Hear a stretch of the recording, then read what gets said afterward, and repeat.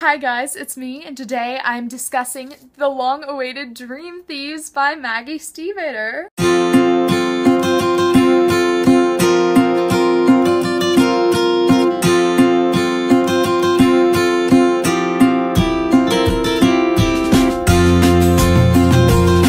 I'm just gonna say right up front that even when I'm summarizing this, since it's a sequel, there will be slight spoilers. Spoilers in some forms. If you have not read Raven Boys, I would just go now. And I will notify those who have not yet read Dream Thieves when to leave. So go get Raven Boys and read it, and then you can come on back after you read Dream Thieves granted. Dream Thieves is the sequel to Maggie Stiefvater's The Raven Boys, which I got the first date came out last year and read that and just totally adored it. And I've been waiting for Dream Thieves for quite some time, but busy as always. I finished it about last week, and so now, even though it came out September, now I'm doing my review. it's very complex, so I'm just going to read from the blurb to give you guys a little summary of what's going down in Dream Thieves if you've read Raven Boys. Um, Ronan Lynch has secrets. Some he keeps from others, some he keeps from himself. One secret Ronan can bring things out of his dreams. And sometimes he's not the only one who wants those things. Ronan is one of the Raven Boys, a group of friends, pr- practically brothers, searching for a dead king named Glendower, who they think is hidden somewhere in the hills by their elite private school, Aglionby. Don't know how to pronounce that. Academy. The path to Glendower has long lived as an undercurrent beneath town, but now, like Ronan's secrets, it is beginning to rise to the surface, changing everything in its wake. The Raven Boys, you have Ronan, you have Adam, you have Noah, and you have Gansey, and then we of course have Blue, who's a, become a good friend of them. I'm going to start out with what I enjoyed and what I think worked really well. What worked so, so well were, were the complex, fully realized well constructed characters. They were all very, very unique and I use this term a lot, but they were very real. They all had very distinct voices at, to the point of if if you took things they said, whoops, if you took things that they specifically said, but you took off the taglines like said blue, I'm pretty sure that I could identify who said what just from what they said and how they said it that's how distinct and fully realized these character R's and characters are. And their struggles, their internal struggles and the struggles around them really hit home. They're they feel like something that a, a, teenager would really be struggling with, and I could relate to a lot of it. So I really want to commend Maggie Stiefvater for the realis- the a level of realism in which she portrayed these these characters. Her writing, her prose is gorgeous and lyrical. She describes everything and everything in a very unique way. Uh, she never describes anything in a really stereotypical. She doesn't use stereotypical metaphors.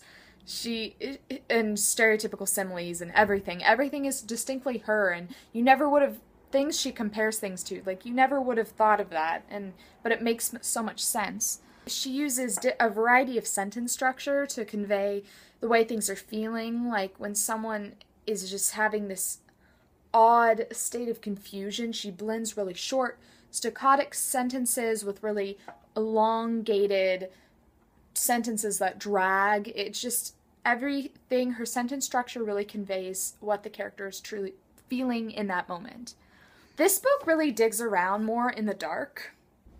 It's, I mean, um, it's a lot of it's really morbid. It talks about death a lot and what is the point of reality and loss and how a child deals with abuse that they've had in their past or the absence of parents. It's, I mean, it's like big questions like how do you how do you create a life yourself, which we see through um, Adam, who really struggles with this idea of how to make something for himself without succumbing to others' needs or others' things. And then there we have Ronan, like what is actually real, since he is pulling all these things from his dream and throughout dreams and throughout the novel, he's seeing that his dad uh, pulls things from his dreams, and then there's this random creepy dude named Kavinsky who does this, and he's realizing that. The, spoiler: they can actually pull people out of dreams and he just starts to really think about what is real, and that can be just a, a thing that you someone could ponder in life who doesn't take things out of their dreams. It's what is reality and what is something that you created in your mind. A few things that didn't work well, in my opinion. I thought the ending was a little rushed. Like, we have this big build up. All these things are happening. All these characters are coming in.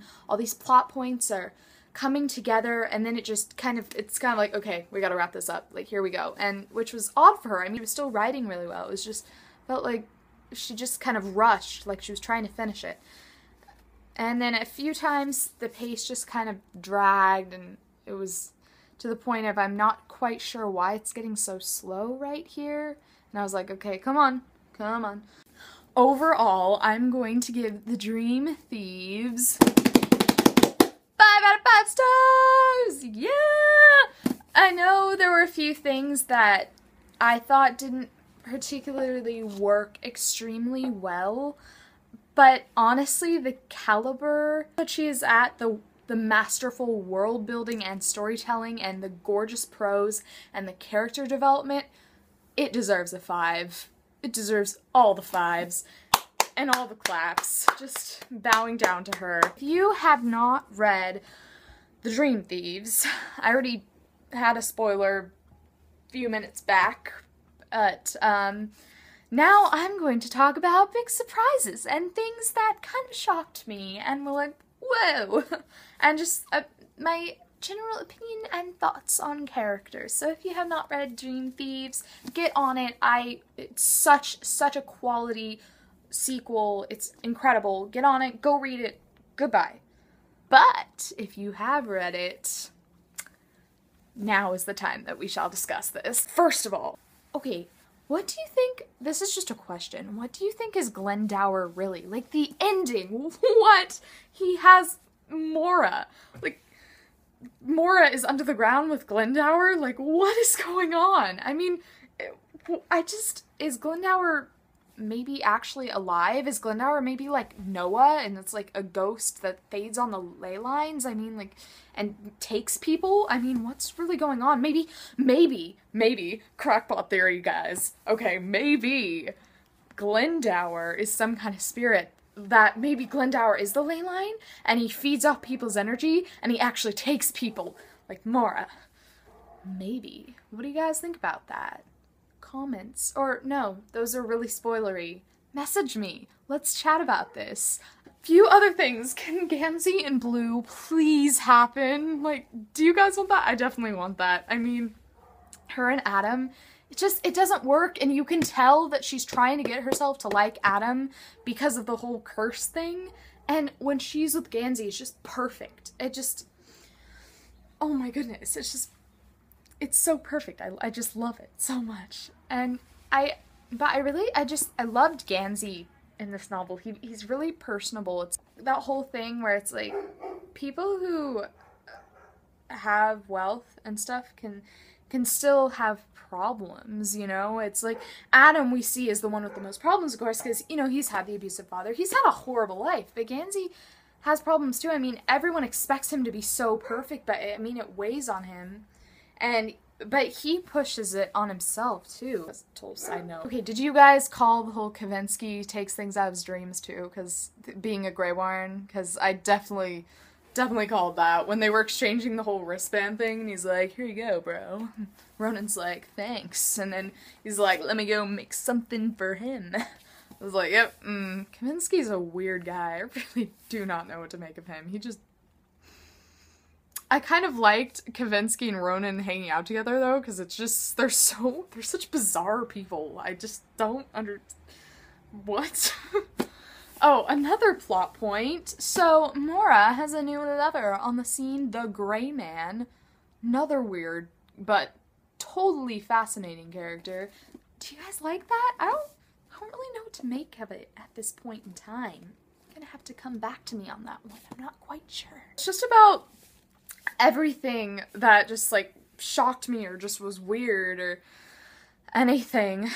Uh, just Gansey and Blue, please get together. You're so perfect. Please, Maggie Stiefvater, put them together somehow, some way in the next book. Just, guys, I can't wait for the next book. I just, this is such a unique series. Like I'm not I'm not reading anything like this right now and it's definitely a favorite.